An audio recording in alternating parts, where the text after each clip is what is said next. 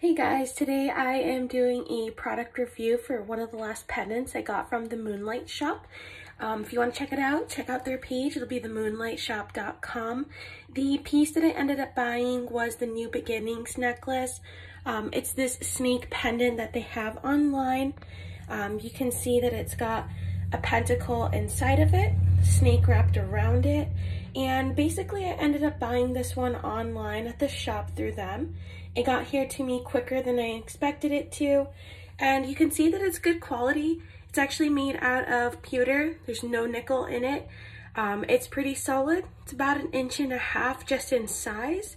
Um, I did buy it for myself and I do wear it almost every other day. I do alternate it with another pentacle necklace that I have through them, but it's one of my favorite pieces.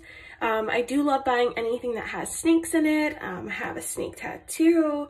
Um, snakes are always signs of rebirth and regeneration and always represent power and healing.